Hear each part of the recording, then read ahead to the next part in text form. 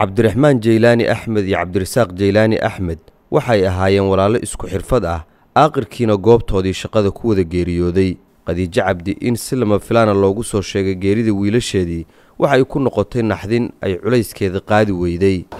Naxtin weyn waay wax loo adkeysi karo ma ahan alxamdulilah laakiin ilaahay aan ku maxdina ilaaha keena amuurta ilaaha iska leh.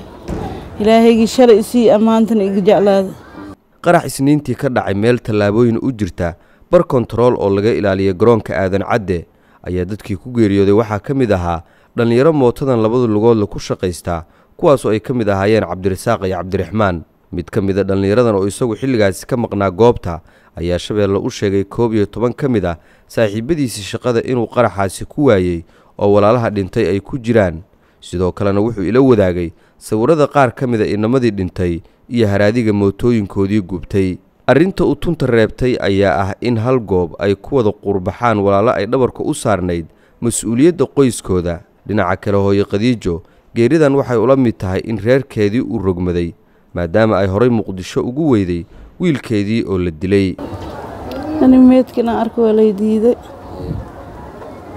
Odayga iyo walaalaheyga ay diideen indhaxumo waaye ma arki kartid loo shakaa xumaanaysa iska dhaafay dhaheen ma arkin aniga waa lay diiday ilaahay meeshooda alla u roonay ilaahay qabrigooda waase alla ooga dhigo adduunyadan koleyba una kuma joogeen.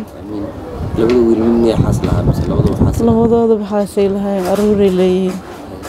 Mid saddexuu leeyahay midna labuu leeyahay walaa nolol maalmeedkan asanuu haya ilaahay kheyr allah siiya cabdirasaaq cabdiraxmaan ilmihiisa iyo gurigiisa uu maamulanay. Maalintii wax looga baahdan waa laga helay saamaynta ay reebaan qaraxyada muqdisho ayaa noloshooda waxa ay ku noqotaa qoysaska qaar murugo aan go'ayn oo haraysa mustaqbalkooda. Muuqaalkani waa waqti aan sidaas u fogeyn oo dhallinyaradan uu ka duubay shabeelle t v xilligaas oo anigu aan ka diyaarinayey warbixin ku saabsan shaqadooda iyo caqabadaha ay kala kulmaan. Maxamuud soo faysana shabeelle t v muqdisho